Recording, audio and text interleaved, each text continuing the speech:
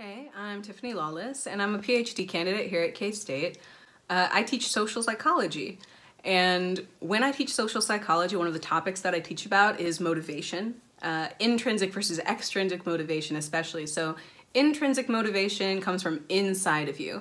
You enjoy a task for its own sake, or you, it's tied to a like your self-worth in some way, something that's inside of you extrinsic motivation comes from outside of you. So, like you're being paid for a job, or your teacher gives you stickers for doing a good job, something that's the outside of you.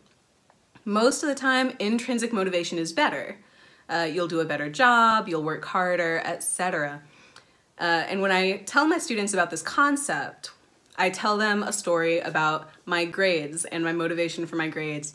Uh, in middle school, I up through middle school. I did pretty well. I was kind of academically inclined. I enjoyed learning. Um, but mostly my motivation for my grades was external. My parents would take me out to eat when I got good grades, etc.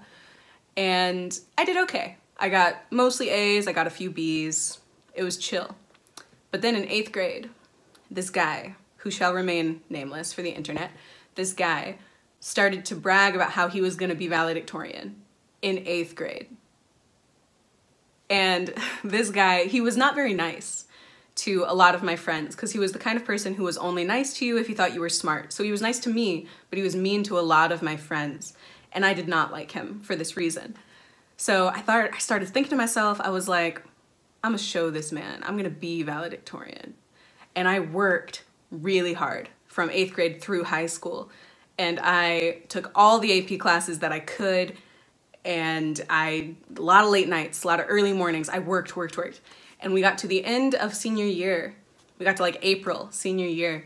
And this guy goes to check his class ranking at the end of physics class one day because this is the first time he's checked it because he's a cocky man. And he opens it and he's like, I am ranked number two.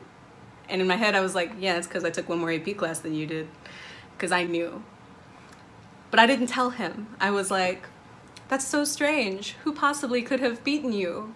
You're so smart.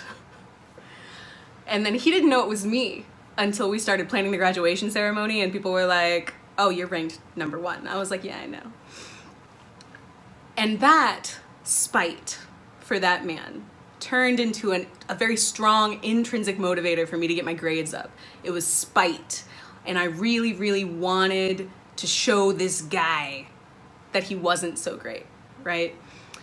Uh, and when I tell that story, the students A remember what motivation means, uh, but which is most important. But B also tend to see me as more human. Uh, instead of seeing me as someone who academics just come easily to, they see me as someone who had to work for them, but also who had whose like work for them came from a place that was not noble.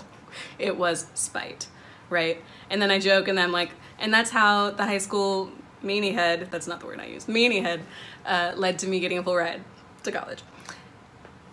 And my students love it. We tend to communicate better after that moment that comes early in the class. And it's a really good time for everybody involved. I hope that you have a great day.